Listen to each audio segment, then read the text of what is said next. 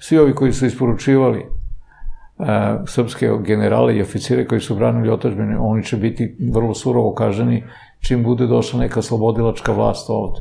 Jer to je najveća izde. Zamisli, ne, zamisli da je neko posle Kosovske bitke gde je neko preživo isporučivo recimo nekog od onih junaka Turcima da im sude Turci, mislim, tu u istoriji se nije dogodilo. To je takva izde, ta, tu, kad, je, kad je Putin, kad je ovaj došao Đinđi kod njega preko Šredera, i ovaj počeo nešto da priča, ja ovo, ne ono, ja kažem, ovaj mu samo rekao, kako ste mogli da svoga predsjednika isporučite stranoj državi da ga se sudi?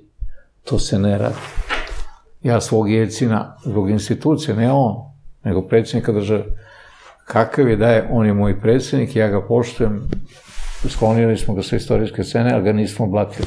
Vi ste ponizili srpski narod, srpsku državu, sve one heroje koji su ginuli za srpsku državu, Vila Zarevića i ove druge, ovoga, kako se zvao, nešto je u Švedskoj, Pavkovića, isporučite. Vi heroji isporučite.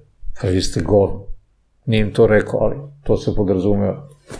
Tako da, a Nemcima je se zamirio Đinđić jer je Sartid, to je železaru, prodao Amerikancima, a Nemci su ga zbog njega, zbog Sartida, odnosno Luke Smederevske, investirali u njega, pravili ga, napravili Žires, to mu je Englezi su naravno imali svoj razlog, znači Nemci, Amerikanci.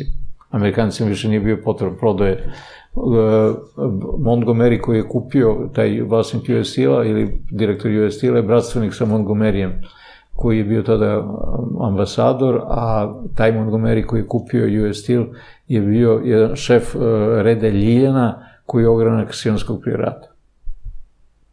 A Ljijan je inače simbol loze Isusa Hristosa i kod jevreja simbol loze Davidove. Znamo da je dug u politici Vojislav Šešelj, on je faktički, kako i sam govorio, ušao na neki način u politiku baš preko Vuka Draškovića, a, brzo su se oni razišli i evo već više od tri decenije na sceni. Da li je on imao pozitivnu ulogu u 90. godinama?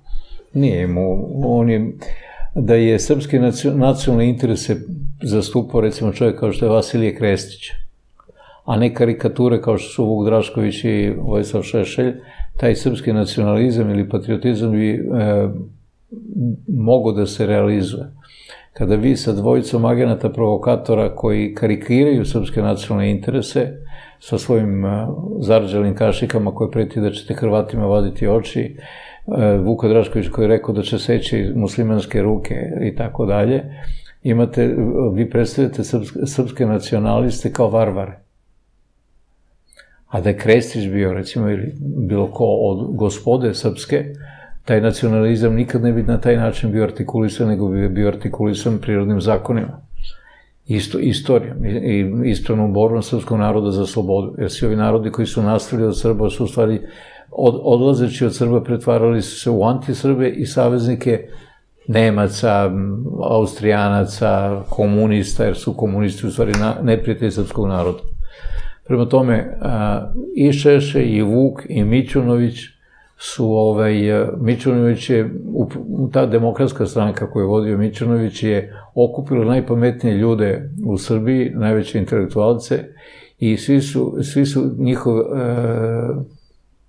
ego je učinio svoje. Svi su mrzeli onog drugoga i ti intelektualci su se istrošili u međusobnim sukobima koji su bili na nivou pubertetlija sa velikim titulama, mesto da su radili na neke ozbiljne stvari da je država htela da e, iskoristi intelektualce, ona je trebala da, da one institute koji postoje pretvore, pretvore u e, oružje za destabilizaciju naših neprijatelja. Kao što Englezi imaju institute za sve, imaju, imaju institute, na nekom institutu koji se bavi Balkanom,